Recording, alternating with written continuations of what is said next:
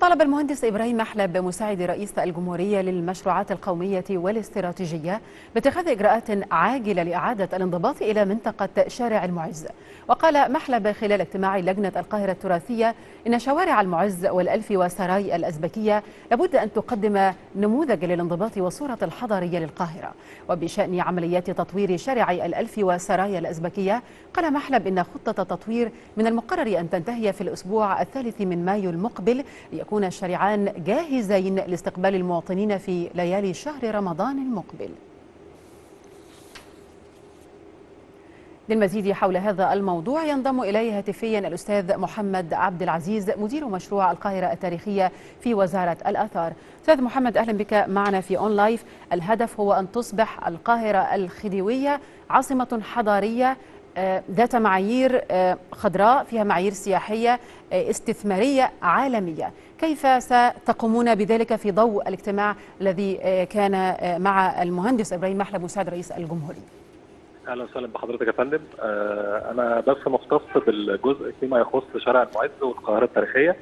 آه طبعا إحنا بنحضر اجتماعات مع المهندس إبراهيم محلب مساعد السيد الرئيس. آه دايما هو التوجه إن إحنا نخلي العاصمة القديمة لمصر وهي القاهرة التاريخية من أعظم المدن الموجودة على وجه الأرض. وإحنا يمكن إحنا عارفين إن القاهرة التاريخية مسجلة على مواقع التراث العالمي كأكبر وأهم مدينة على مستوى العالم كله. فعايزين تبقى واجهه مشرقة قدام أمام العالم.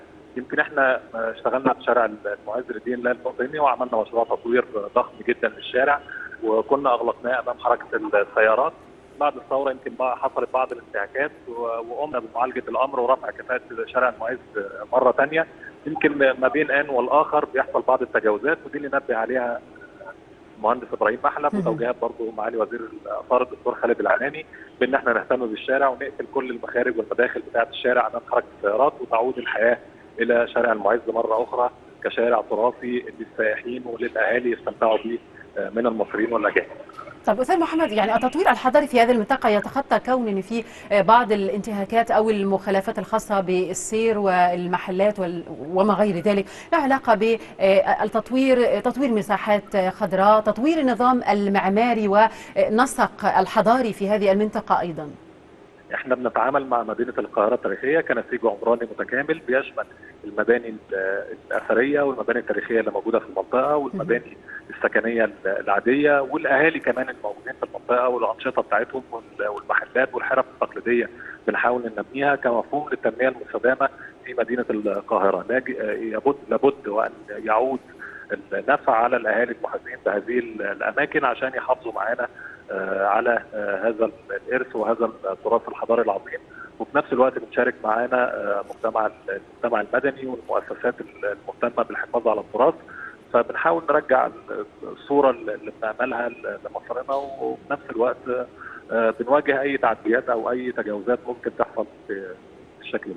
بشكر حضرتك أستاذ محمد عبد العزيز مدير مشروع القاهرة التاريخية في وزارة الأثار.